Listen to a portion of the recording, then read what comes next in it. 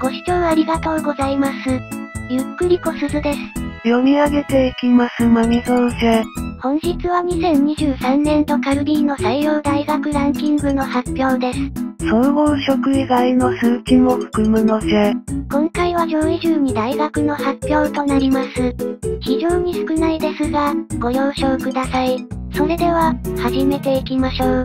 第2位東京農工大学、神戸大学、奈良女子大学、九州大学、慶応義塾大学、中央大学、東洋大学、日本女子大学、明治大学、立教大学、福岡大学、第1位東京農業大学。